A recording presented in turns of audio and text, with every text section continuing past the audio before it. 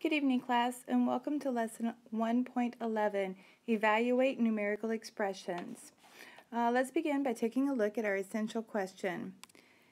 In what order must operations be evaluated to find the solution to a problem? So we're going to connect this back to one of our previous lessons, and we're going to think, remember that a numerical expression is a mathematical phrase that uses only numbers and operation symbols. It is not going to have an equal sign. It is not going to have an answer to that. So let's take a look at some other terminology that we're going to have. To evaluate or find the value of, which is the definition for evaluate, a numerical expression with more than one operation, you must follow rules called the order of operations.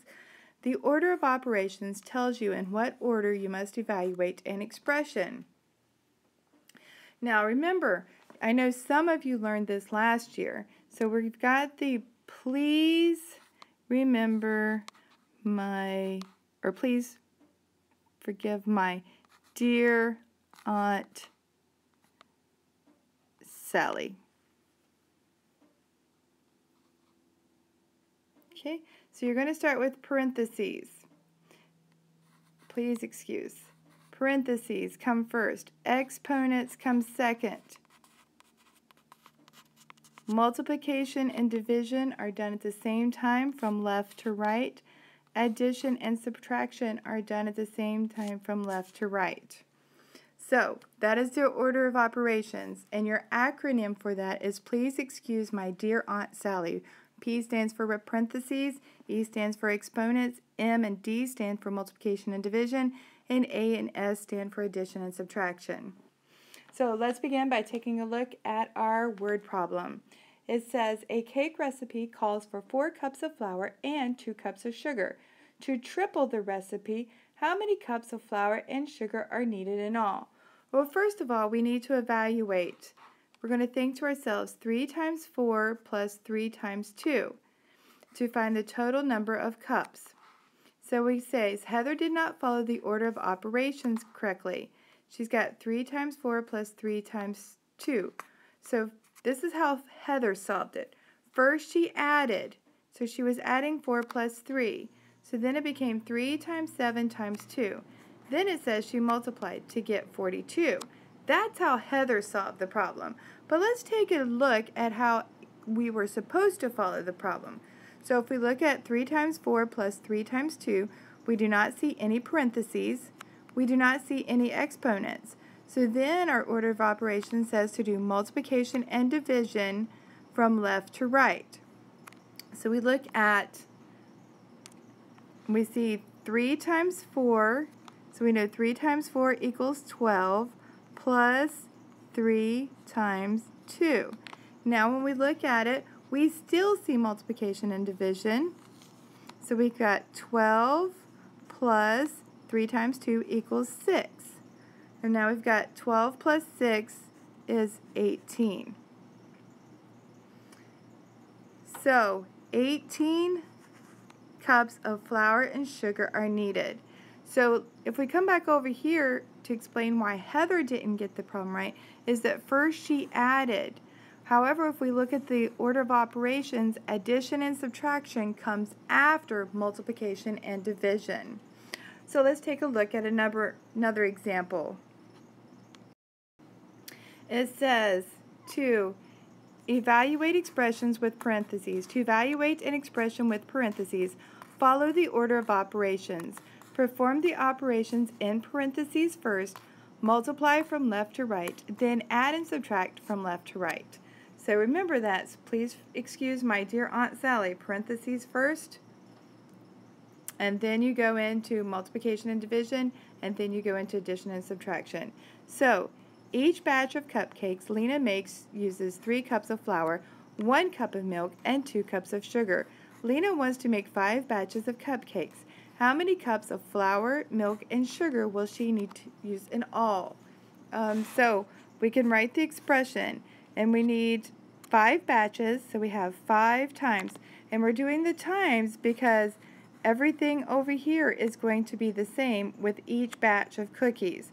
So we've got our three cups of flour, one cup of milk, and two cups of sugar. So it says first perform the operations in parentheses. Well, in parentheses we have 3 plus 1 plus 2. So we know that 3 plus 1 is 4 plus 2 more equals 6. Then it says to multiply. And we got 5 times 6 equals 30. So Lena will use 30 cups of flour, milk, and sugar in all. Now, what if Lena makes four batches? Will this change the numerical expression? Well, yes, because the 4 would replace the 5. So instead of a 5 up here, this would be a 4. The value of the numerical expression would change to 24 because then instead of 5 times 6 like we have here, it would be 4 times 6. So our answer would be 24 versus 30. Now we're going to try a couple more. It says to rewrite the expression with parentheses to equal the given value. So it says 6 plus 12 times 8 minus 3, value 141. So it says to evaluate the expression without the parentheses. So if we do that, evaluating the expression without the parentheses is going to give us an answer of 99. Now we're going to try replacing the parentheses in the expression so the value is 141. So we're going to use the order of operations to check our work. So we're trying to get to 141. So we know that we need to add 6 plus 12 first, so we need to put those in parentheses, times 8 minus 3. So 6 plus 12 equals 18 times 8 minus 3.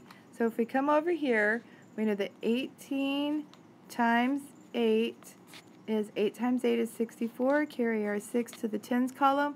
1 times 8 is 8 plus 6 is 14.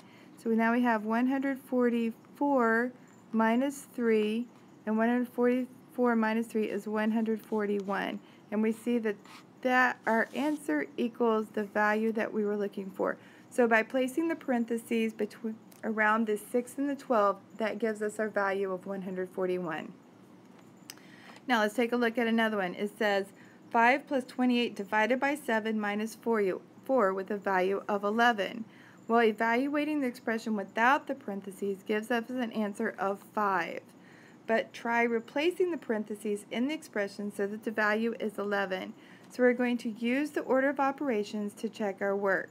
So we can actually add two different parentheses to this one to give our answer of 11.